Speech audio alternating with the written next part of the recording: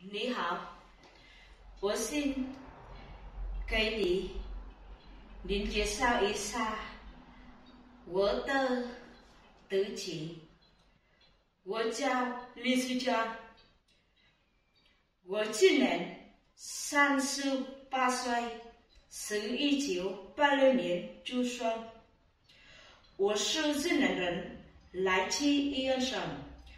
我已经离婚了，我叫尤贺豪人，是我和三个孩子。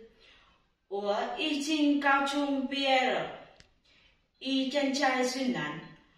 我是一名家庭佣工，有照顾老人和小孩的经验。我很需要在台湾找到一份好工作，能让我好好抚养我的孩子。我是一个平凡的人，不抽烟，不喝酒，会努力做好工作，姐姐。